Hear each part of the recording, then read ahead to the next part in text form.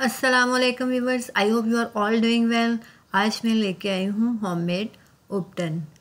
आपने किसी शादी पे जाना हो या आपकी शादी में थोड़े दिन रह गए हों, चंद दिन तो आप इसे इस्तेमाल करें अपने फेस पे हैंड्स और फीट पे नेक पे बाजुओं पे।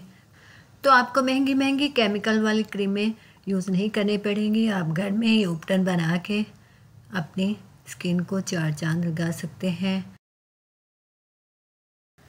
अब चलते हैं प्रेपरेशन की तरफ़। इसके लिए मैंने ये बॉल लिया है और इसमें मैं डालूँगी one tablespoon gram flour यानी बेसन, और half teaspoon turmeric powder यानी हल्दी।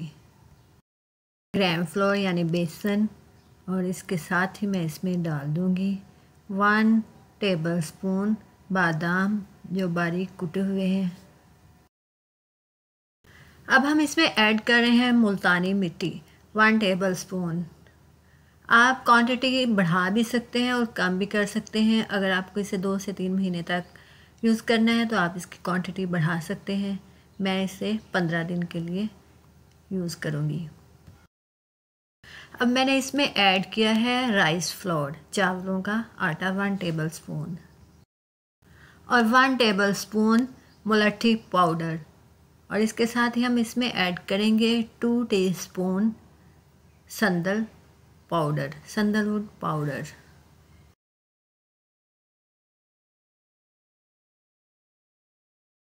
अब हमने इसमें ऐड करना है one sachet milk powder everyday milk powder मैंने लिया है, आप कोई भी पाउडर का साशे इसमें डाल दें। ये उपटन हर स्किन टाइप के लिए यूज़फुल है। ये आपकी स्किन को नरिश करने के साथ साथ क्लेंजर का काम भी करता है और मॉइस्चराइज़र का भी। काम करता है और सबसे बेहतरीन मास्क है। अगर आप इसको रेगुलर यूज़ करेंगे तो आपको इसके अमेजिंग रिज़ल्ट मिलेंगे। रेगुलर यूज़ करना ही सबसे पहली शर्त है, वरना फ़र्स्ट एप्लीकेशन में ही आपको इसके बेनिफिट्स नज़र आ जाएँगे। हल्दी इसमें कुछ कम लग रही थी, इसलिए मैंने थोड़ी सी हल्दी और ऐड कर दी है, अब हम इसे अच्छी तरह से मिक्सअप कर लेंगे। वीवर्स अगर आपने अब तक मेरे चैनल को सब्सक्राइब नहीं किया तो प्लीज़ सब्सक्राइब कर दें और बेल आइकन को लाजमी पुश करें ताकि मेरी हर आने वाली वीडियो का नोटिफिकेशन सबसे पहले आपको मिल सके।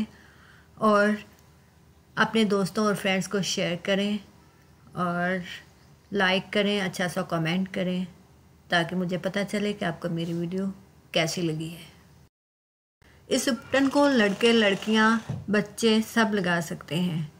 और हर किस्म के स्किन इशू के लिए कोई भी प्रॉब्लम हो, स्किन से रिलेटेड इसके लिए यूज़ कर सकते हैं। अब हम आते हैं एप्लीकेशन की तरफ़। ये मैंने बॉल में टू टेबल स्पून उपटन लिया है और इसमें मैं ऐड करूँगी रॉ मिल्क।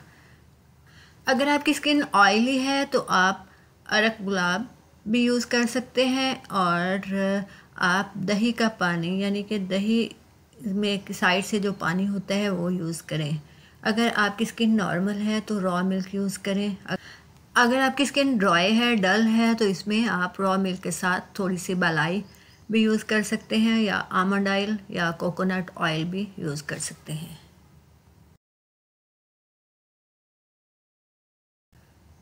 अब हम इसे अपने फेस पर 20 से 25 मिनट के लिए अप्लाई करेंगे। आप अपने हैंड्स और फीट पे भी अप्लाई कर, करें और साथ ही बाजुओं पे और नेक पे भी अप्लाई करें।